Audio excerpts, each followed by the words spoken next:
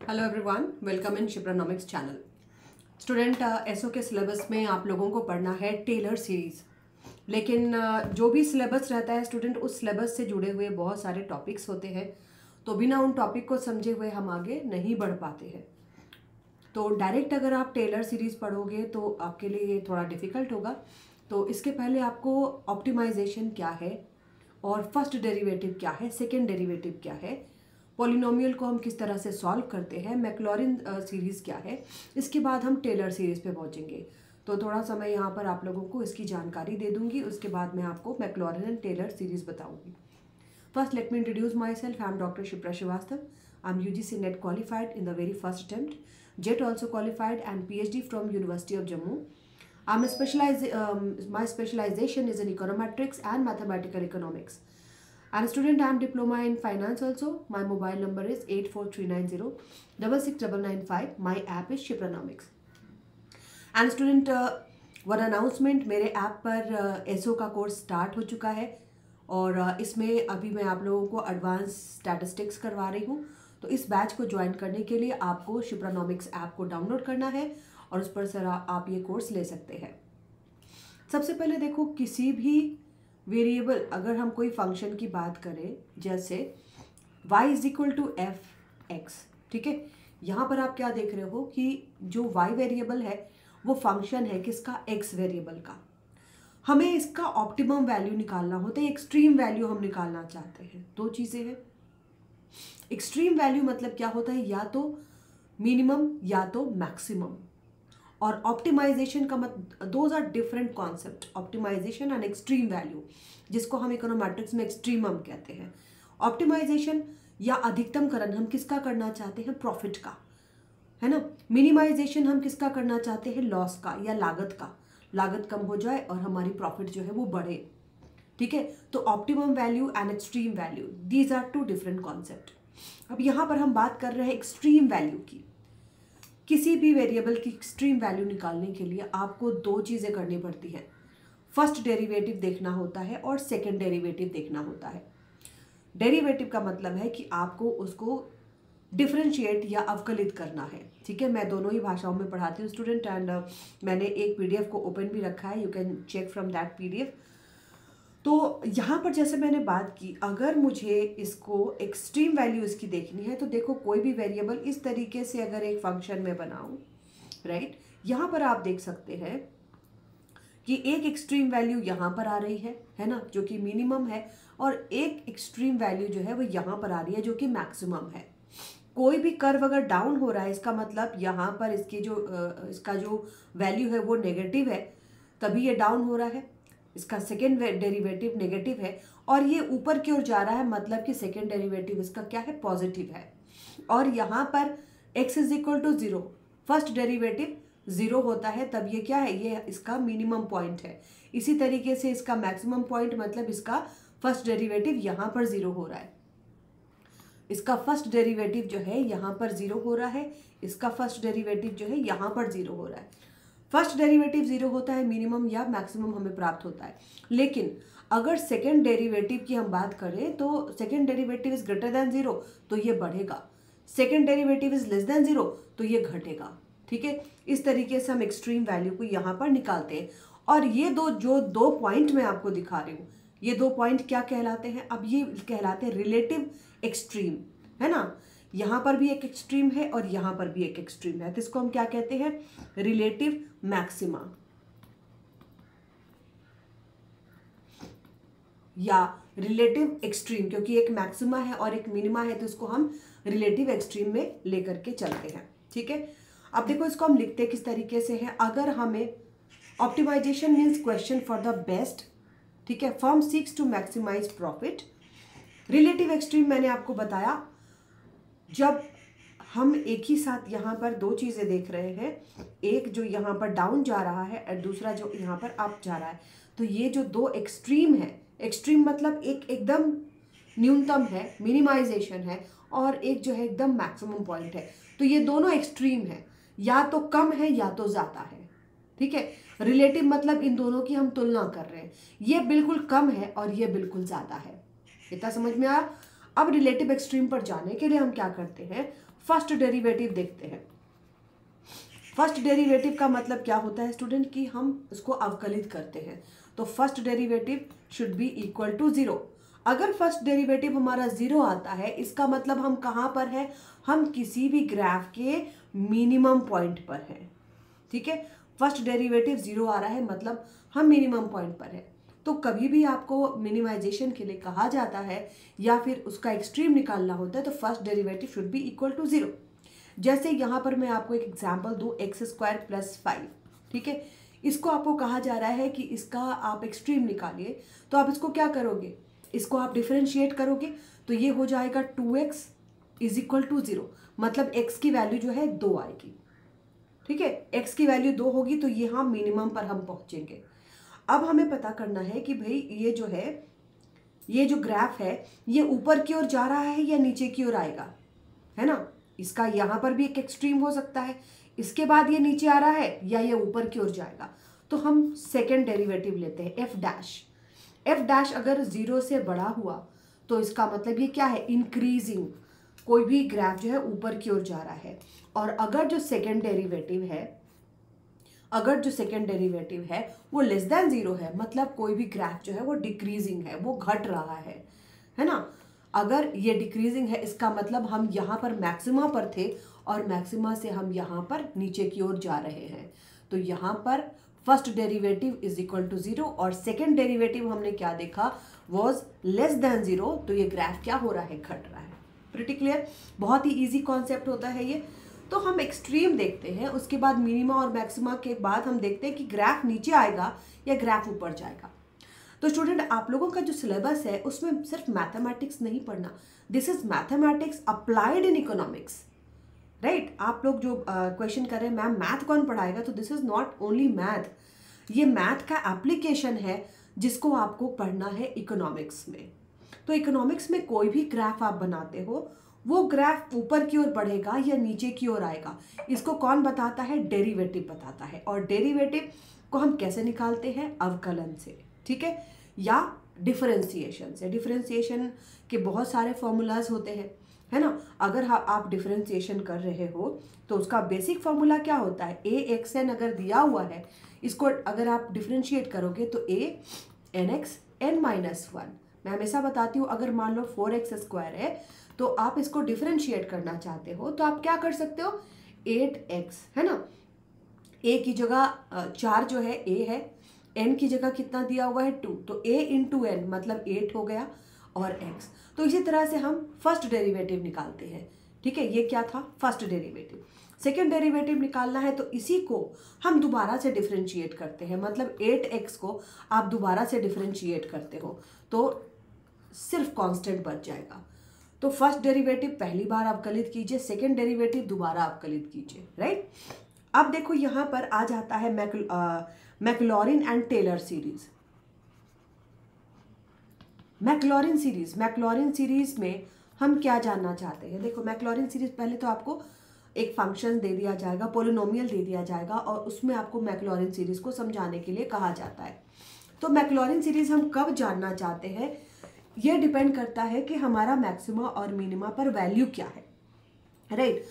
हमारा मैक्सिमा और मिनिमा पर वैल्यू क्या है? अगर मान लो, y इज़ इक्वल टू हमने एफ़ एक्स लिया है, ठीक है? y इज़ इक्वल टू हमने एफ़ एक्स लिया है। और मैक्लोरन सीरीज़ क्या है? अगर मान लो, मिनिमा पर इसकी सेकेंड डेरिवेटिव फ़र्स्ट डेरिवेटिव इसका ज़ीरो है। अगर सेकेंड डेरिवेटिव भी ज़ीरो हुआ तब उस पोलिनोमियल को एक्सपैंड करने के लिए हम मैक्लोरन सीरीज़ का इस्तेमाल करते हैं। क्लियर है? मैक्लोरन सीरीज़ कब होगा? जब first derivative was zero and second derivative was also zero clear है? तो फ़र्स्ट डेरिवेटिव और सेकेंड डेरिवेटिव तो यहाँ पर टेलर सीरीज़ में, अगर इसी में हम टेलर सीरीज़ ले लें। टेलर सीरीज़ में हम एक्सपेंशन करते हैं जब x is equal to X zero रहता है। राइट टेलर सीरीज़ में बस थोड़ा सा अंतर होता है। Taylor series expansion around any point X is equal to X zero right Maclaurin series जब second derivative is also zero first derivative zero second is also zero and Taylor series when X is equal to X zero अब देखो यहाँ पर हम मैं थोड़ा page आगे बढ़ाऊ student यहाँ पर हम क्या करते हैं?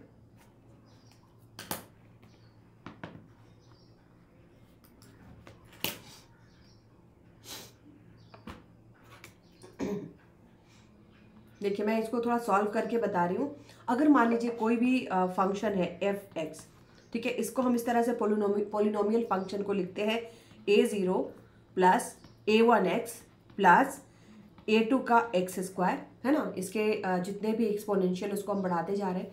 This is what polynomial function this is what polynomial function ठीक है?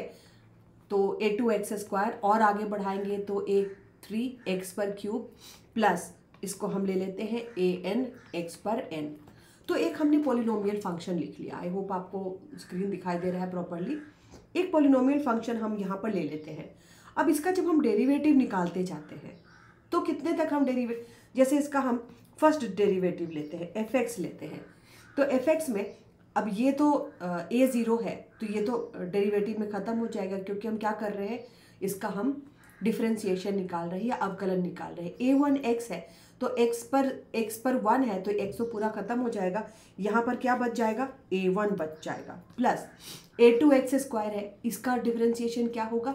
ए टू तो रहेगा ही टू आ जाएगा और ए टू और x, है ना? कैसे मैंने क्या मैं समझा रही हूँ? आपका फॉर्मूला क्या था? ए एक्स एन रहता है तो ए एन एक्स पर एन माइनस वन इस तरह से हम क्या, इस तरह से हम डिफ्रेंशिएट करते हैं ना तो ए टू एक्स स्क्वायर को मैंने डिफ्रेंशिएट किया, अवकलित किया। तो इसी फॉर्मूले पर जितने भी हैं, सबको हम क्या करते हैं? डिफ्रेंशिएट करते हैं।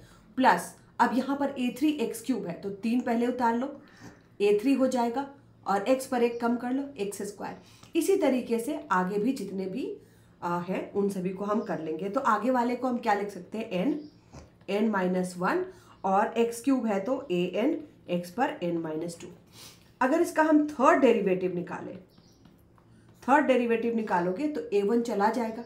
है ना? हमारे पास क्या बचेगा? अब यहाँ पर हमारे पास बच रहा है टू ए टू है। है ना? टू ए टू है तो ये आगे जितना भी आता जाएगा, हम इस तरह से डिफ्रेंशिएट करते जाते हैं। बट हमारा जो मेन पोलिनोमियल फ़ंक्शन है, वो हमारा ये है। अब इसको हमें क्या करना होता है? हम देख रहे हैं कि जैसे जैसे आगे ये आगे ये बढ़ता चला जाता है, इसमें एक एक वेरिएबल कम होता जाता है, ठीक है? अब अगर मान लो हम x is equal to zero ले लेते हैं, जैसे हम आगे जैसे जैसे हम इसको, इसका अलग अलग डेरिवेटिव निकालते जा रहे हैं एक एक x ख़त्म हो जाता है। अब इसी में अगर हम x बराबर ज़ीरो कर ले तो फ़र्स्ट डेरिवेटिव जो होगा, वो क्या हो जाएगा? ए वन कैसे होगा? क्योंकि फ़र्स्ट डेरिवेटिव हमने निकाला है तो यहाँ पर ए वन बचेगा, क्योंकि हमने एक्स को ज़ीरो से ज़ीरो मान लिया है। तो जहाँ जहाँ भी एक्स है, वो सारे ज़ीरो हो जाएँगे। तो यहाँ पर केवल और केवल क्या बचेगा? ए वन बचेगा। तो यही मैंने लिखा है कि फ़र्स्ट डेरिवेटिव अगर हम एक्स की वैल्यू ज़ीरो रखें तो ए वन बचेगा। सेकेंड डेरिवेटिव इस तरीके से क्या बचेगा? टू ए टू है ना? केवल टू ए टू बचेगा, क्योंकि एक्स की वैल्यू हमने ज़ीरो कर ली है। और सेकेंड डेरिवेटिव निकालते हैं तो केवल टू ए टू बचता है एक्स की वैल्यू ज़ीरो ठीक है? प्लस सिक्स ए थ्री तो सेकेंड वाले में टू ए टू बचेगा। तो टू ए टू यहाँ पर बचा। थर्ड डेरिवेटिव अगर लेते हैं और उसमें भी एक्स की वैल्यू ज़ीरो करते हैं तो बचेगा सिक्स ए थ्री मतलब जिसमें भी वेरिएबल्स है, वो सारे वेरिएबल्स जो चर है, जो वेरिएबल एक्स है, उसकी वैल्यू अगर हम ज़ीरो कर दें तो पहला डेरिवेटिव पहले कांस्टेंट के बराबर दूसरा डेरिवेटिव ए क्या है? कांस्टेंट है, स्थिरांक है। दूसरा डेरिवेटिव दूसरे कांस्टेंट के आधार पर। तीसरा डेरिवेटिव तीसरे कांस्टेंट के आधार पर। है ना? तो हम जितना भी डेरिवेटिव निकालते हैं, डेरिवेटिव जो है, वो किसके टर्म में आ रहा है? स्थिरांक के टर्म में आ रहा है। क्योंकि चर को हमने क्या कर दिया वेरिएबल को हमने क्या कर दिया शून्य कर दिया है। ठीक है? अब इसी को मैक्लोरन बताते हैं कि अगर एन फैक्टोरियल हम लेते हैं तो क्या लिखा जाता है? N n minus one n minus two इस तरह से बढ़ते हैं। तो अगर पहला ए वन अगर हम लेते हैं तो एफ़ का factorial zero divided by one one का फैक्टोरियल फैक्टोरियल आई होप आप लोग जानते होंगे। अगर मैंने टू का फैक्टोरियल लिखा है, इसका मतलब टू इंटू वन अगर मैंने थ्री का फैक्टोरियल लिखा है तो three into two into one पीछे की ओर घटते जाते हैं।